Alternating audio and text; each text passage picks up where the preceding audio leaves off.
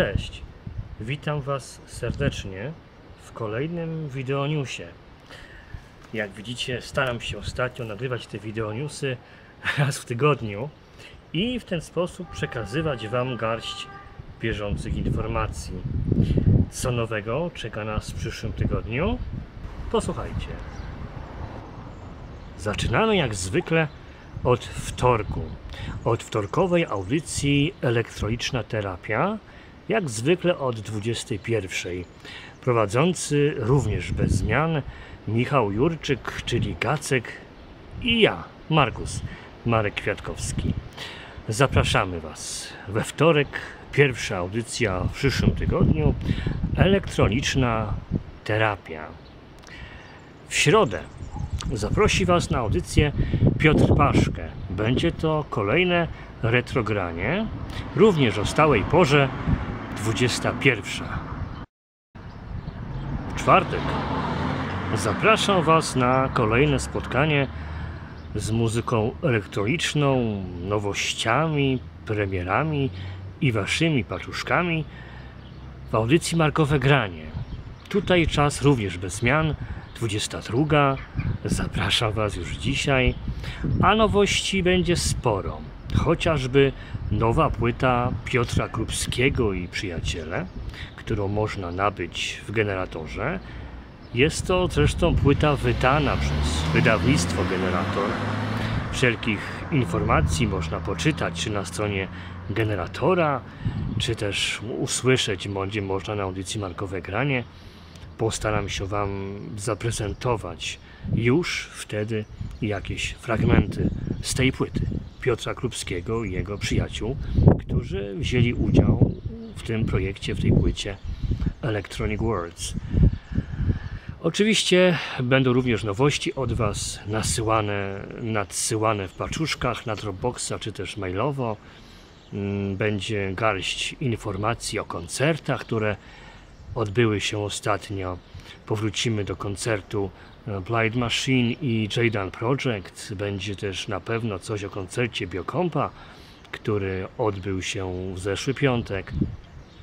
O tym wszystkim porozmawiamy sobie na markowym graniu.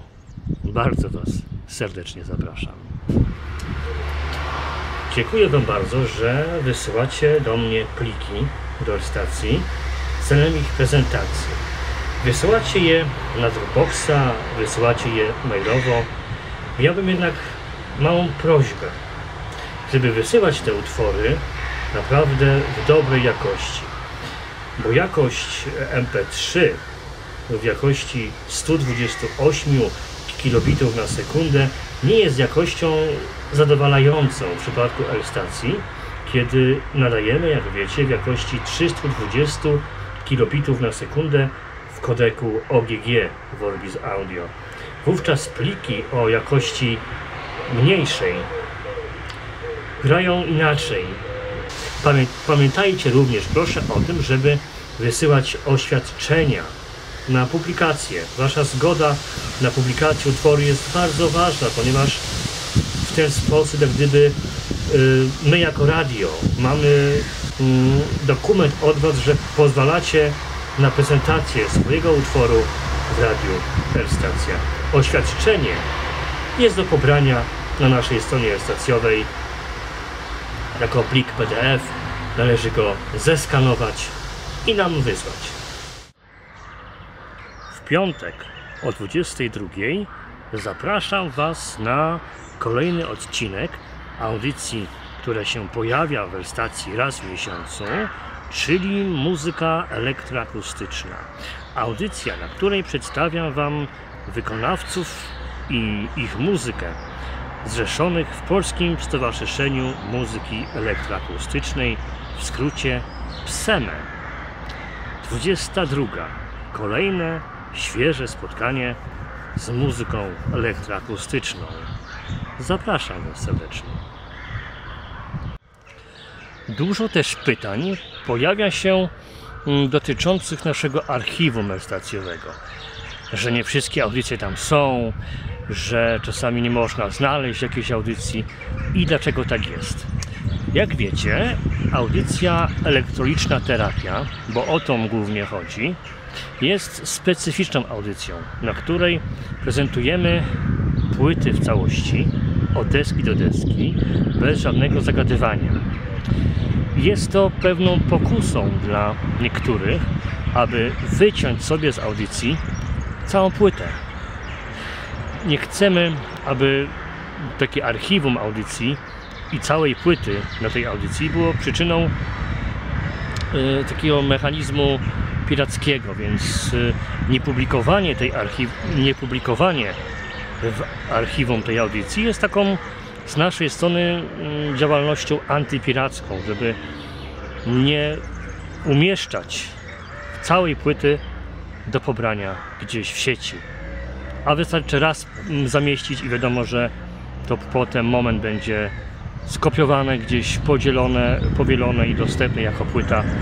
Chcemy tego uniknąć, dlatego też audycja elektroniczna terapia nie jest umieszczana w archiwum, ani na Mixcloud, ani na Mega.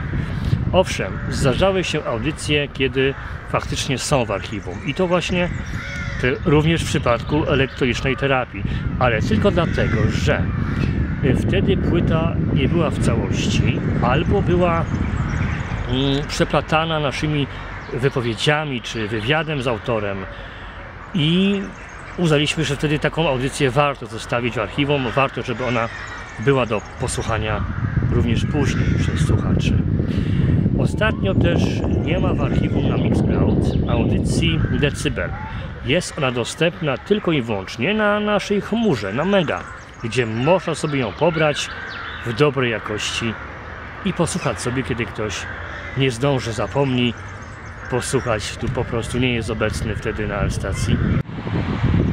Wybiegając troszeczkę do przodu, jeśli chodzi o audycję w stacji, nie teraz we wtorek, ale za tydzień, 30 maja, będziemy chcieli Was zaprosić też na taką właśnie szczególną audycję, gdzie będzie zaprezentowana płyta Natalii Moskal i będziemy z, między innymi z Natalią Moskal podczas audycji o tej płycie rozmawiać. Zapraszamy już dzisiaj, 30 maja, na specjalną audycję elektroniczna terapia.